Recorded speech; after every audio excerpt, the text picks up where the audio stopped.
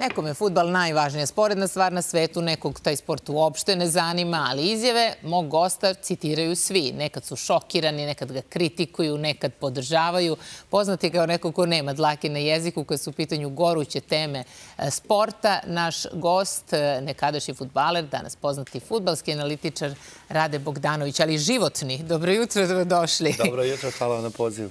Prvo što bi palo na pamet, e, jutros kad sam vas videla, Znate da je u subotu bilo 40 godina od olimpijskih igara u Sarajevo. Znam da ste i rođeni i da ste živjeli u Sarajevu, pa da krenemo sa tim kako pamtite Sarajevo 84.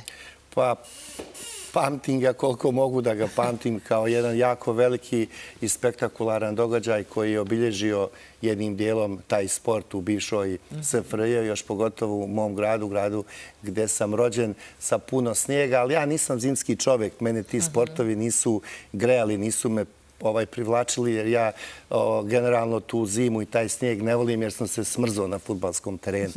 To ono, trenirajući na onim svim podlogama u zimskom periodu, to kad vam uđe zima u kosti, onda sneg ne greje. Ne prija. Ali evo, sa nostalgijom su svi komentarisali 40 godina od Vučka i olimpijskih igara e, Sarajevo i to su lepa e, sećanja na taj period. I onda mi je e, palo na pamet, pošto ovih dana se dosta priča o vojnom roku, o ponovnom uvođenju obaveznog vojnog roka, da li bi bilo nekih 90 dana, to je naravno sve u proceduri, a vi ste neko ko je u svojim e, vrlo zanimljivim izjavama često imao priliku da kaže da to sve nedostaje mladim sportistima, ne samo futbalerima, nego i uopšte. Ta neka disciplina koja bi se videla i na terenu.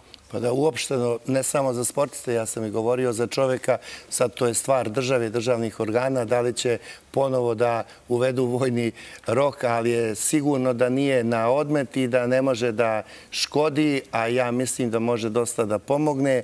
Koliko mjeseci, da li 3, 6, 9, 12, nebitno, ali današnji mladi nemaju disciplinu, nemaju radne navike.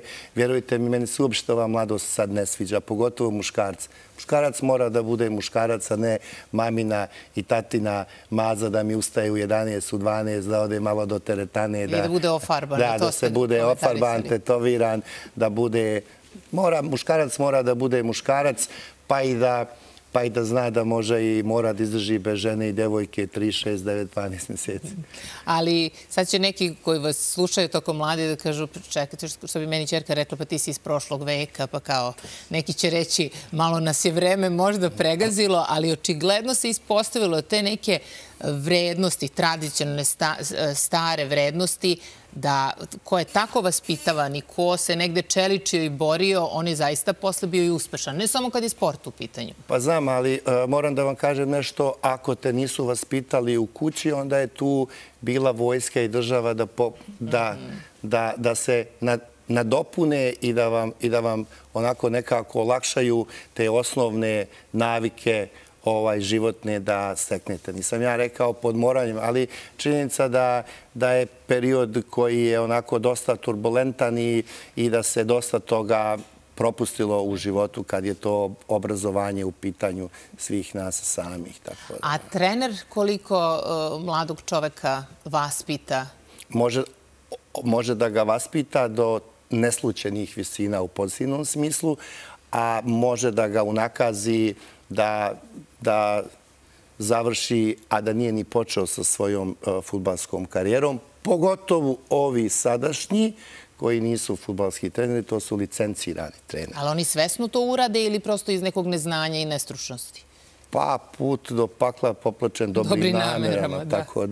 Ali u suštini ovdje nema baš pretirano edukovanih trenera ako pričamo o futbalu, ako mi je tema futbal, nekad su se futbaleri, to je treneri školovali na fakultetu za fizičku kulturu. Ne znam da li se vi sećate, ja se sećam profesora Aleksića i svih tih sjajnih profesora koji su edukovali sijaset bivših futbalskih stručnjaka koji su, nažalost, izumrli. Izumrlo je to vrijeme edukacije.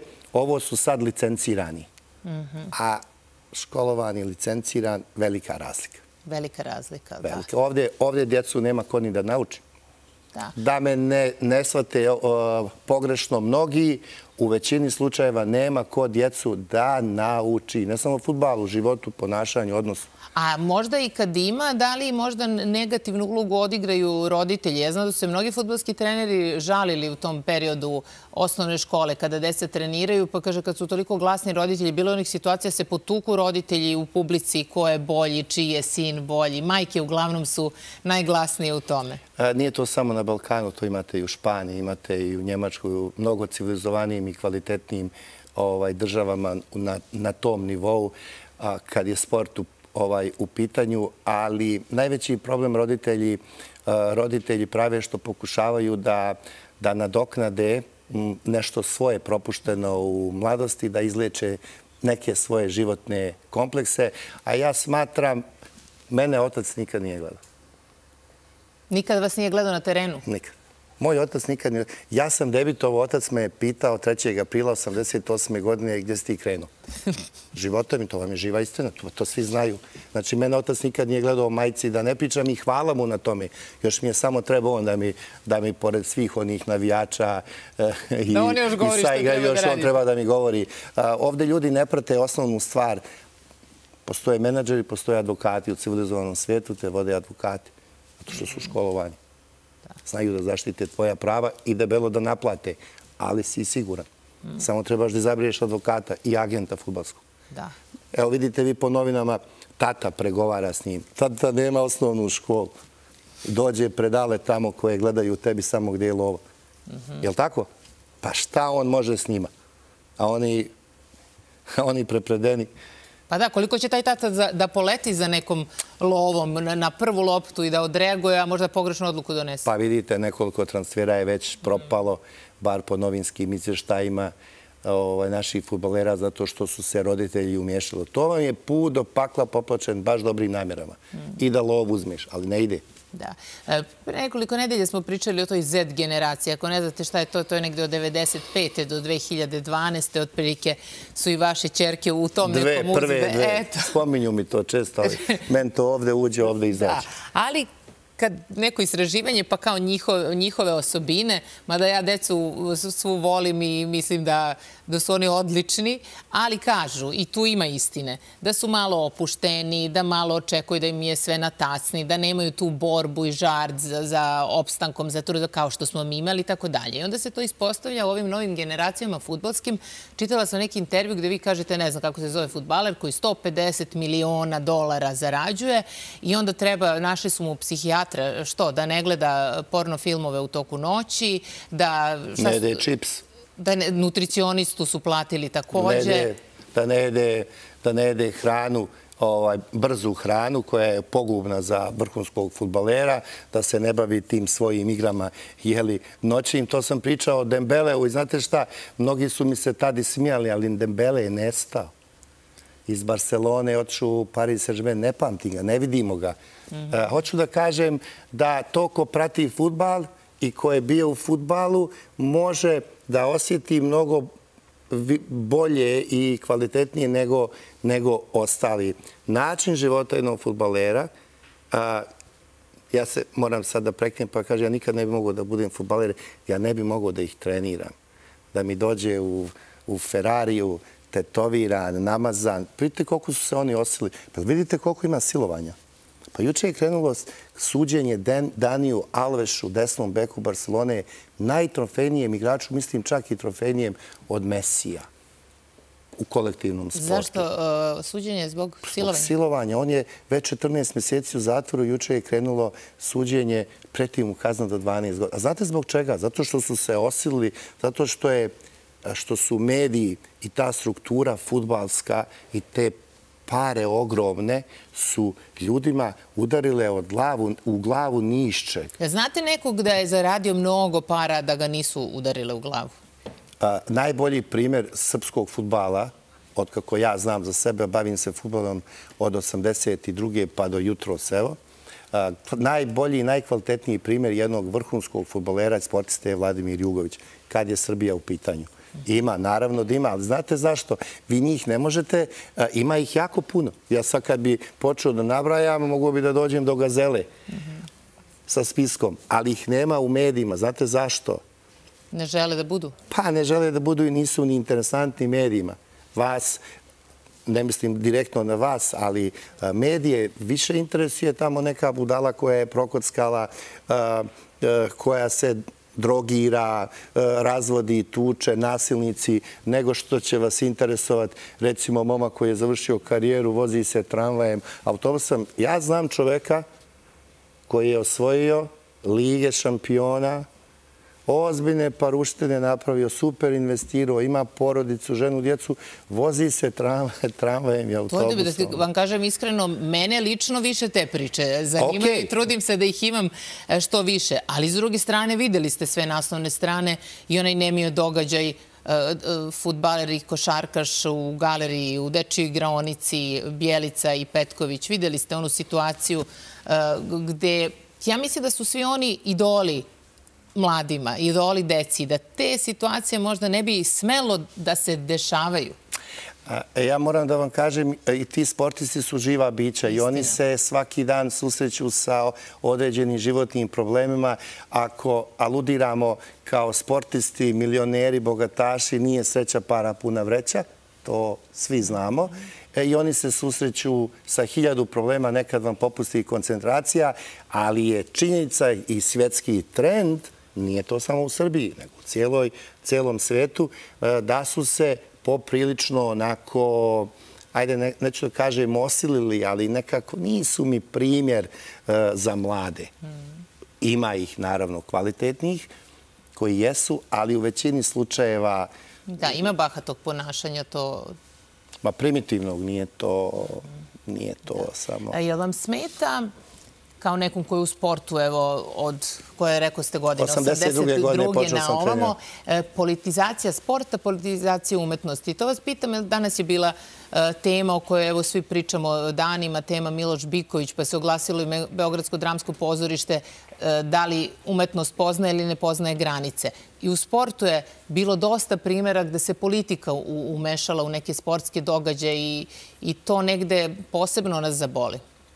Pa vi stvarno mislite da je Sarajevo dobilo olimpijske igre, da nije politika u se mm. umješala?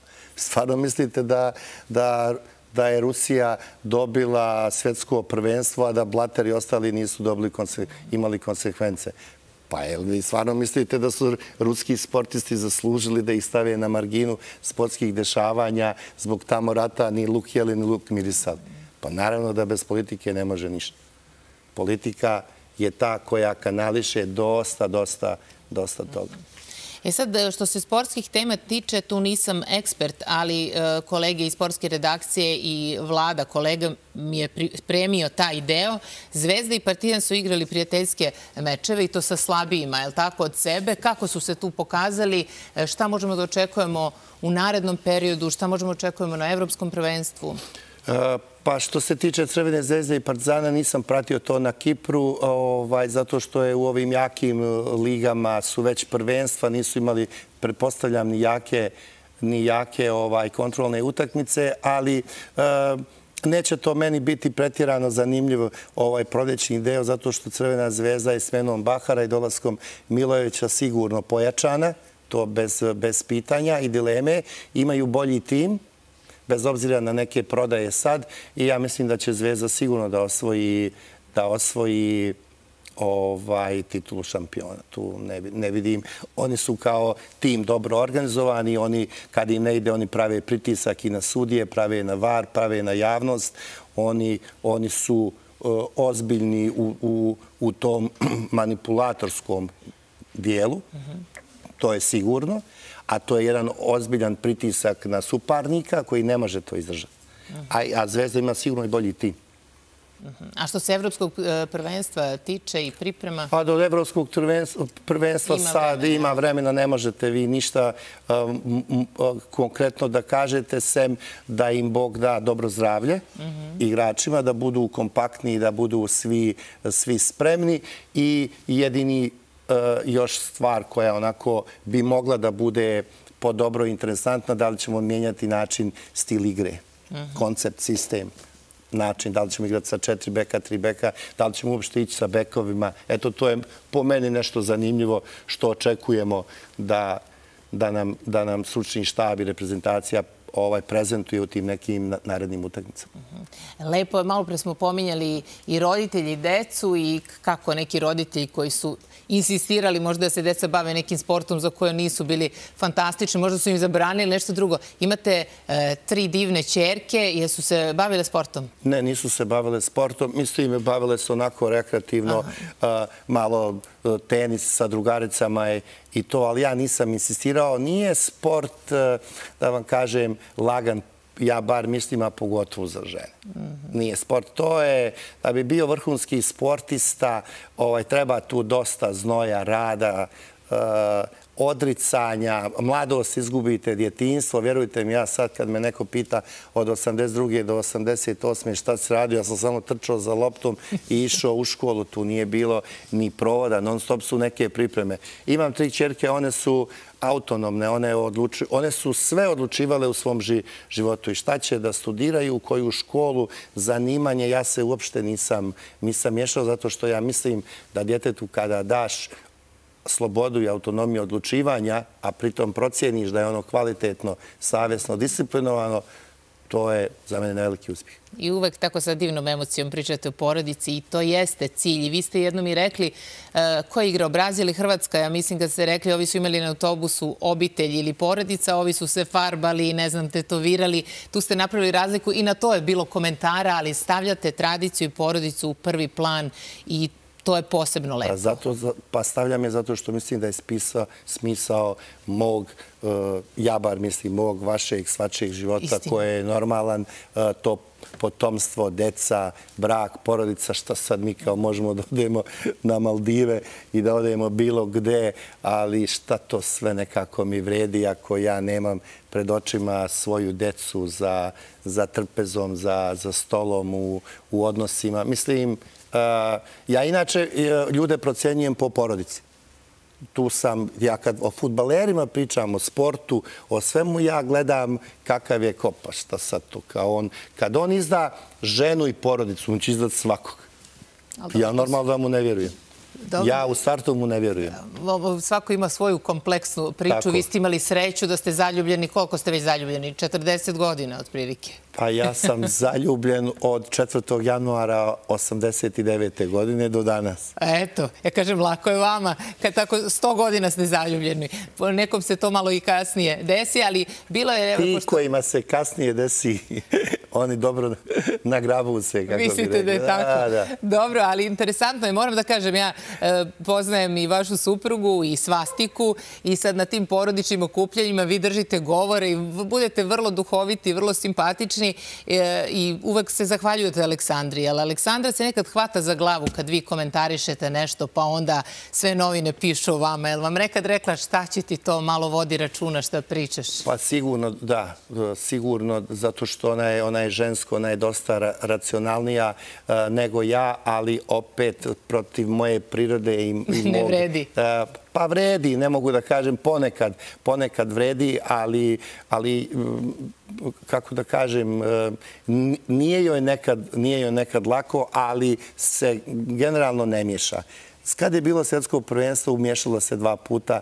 Ovaj, zato što joj je bilo jako čudno neki moji stavovi, obzirom na moje kućne stavove o nekim ljudima iz svijeta sporta koji su dosta bili pozitivni, ali ja to, ja to smatram kao moj posao. Bez bilo kakve lične koristi, bez nekog ličnog stava protiv nekog pričam. Pa sad ako mi neko upadne tu, šta ću ja mislim, javne ste ličnosti kad mislim, kako da vam kažem, to je jednostavno. Da.